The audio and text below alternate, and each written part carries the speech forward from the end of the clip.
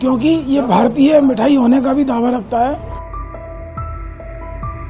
हज़ारों साल तक केवल इसको आयुर्वेदिक औषधि के रूप में जाना जाता था। एग्रीकल्चर किसानों से जुड़ा हुआ है, गरीबों से जुड़ा हुआ है, मजदूरों से जुड़ा हुआ है।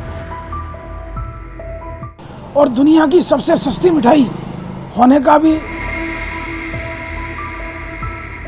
देश का आम बजट पेश होने वाला है और 23 जुलाई 2024 को वित्त मंत्री निर्मला सीतारमण संसद में बजट भाषण देंगी। हर बार की तरह ही इस बार भी केंद्रीय बजट से आम और खास सभी को बड़ी उम्मीदें हैं। इस बीच चैम्बर ऑफ़ ट्रेड इंडस्ट्री ने अपनी 10 मांगों को लेकर वित्त मंत्री को पत्र भेजा है। इसमें इनकम टैक्स का नाम चेंज करने से लेकर मिडिल क्लास और छोटे व्यापारियों को राहत देने समेत अन्य मांगे बताई गई है। वहीं उत्तर प्रदेश के आगरा का प्रसिद्ध पेठा व्यापार महँगाई की मार से प्रभावित हुआ है। इस बजट सत्र से पहले आगरा के पेठा व्यापारियों की सरकार से कुछ उम्मीदें और कुछ बड़ी मांगे भी है। इस विषय पर उनका क्या कहना है? सुनिए। हम तो ये चाहते हैं कि जो भारतीय पेठा उद्योग है, जो अपनी पहचान रखता है और आगरा से विशेष इसका नाता है और पेठा और ताजमहल आज एक दूसरे के पूरक है तो पेठा जो व्यवसाय है, ये विश्व धरोहर है, ये भी एक तरह की।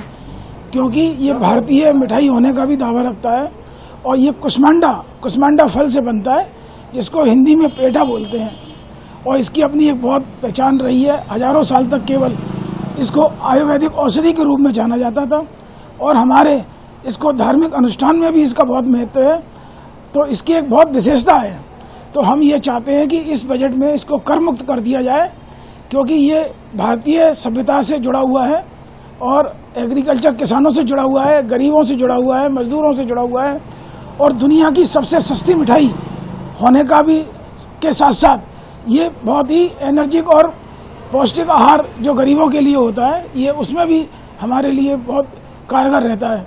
तो इसलिए इसकी एक विशेष महत्व है और इसके व्यापार को सरकारों के द्वारा प्रोत्साहित करना चाहिए क्योंकि ये हमारा जो इंडियन ट्रेडिशनल स्वीट्स जिसको हम पेठा बोलते हैं, हम ये चाहते हैं कि सरकार के हस्तक्षेप से ये पूरे विश्व पटल पर इसकी ख्याति प्राप्त होनी चाहिए। ये पेठा जो है, कच्चे फल से बनता है, और ये आयुर्वेदिक के रूप में होता है। औषधि के रूप में भी लिया जाता था पहले। अब ये बहुत मिठाई मिठाई के रूप में लिया है पेठे को, जो शुद्ध है, कोई मिलावट नहीं है। गरीब मध्यम वर्गी को भी खरीद सकता है इस पेठे को। सरकार को चाहिए कि इसके कर मुक्त किया जाए, जिससे कि मध्यम वर्ग के जो लेने वाले हैं, उनको बेनिफिट मिले और ये गैस है, गैस में भी सब्सिडी में छूट दी जाए। और मैं तो ये चाहूँगा कि इनको करे, यहाँ से जितनी पलायन हो गई हैं, इसी कारण हो गई दोबारा से बसे, उल्टा उद्योग आगे बढ़े, जिस, जिससे भारत सरकार को भी लाभ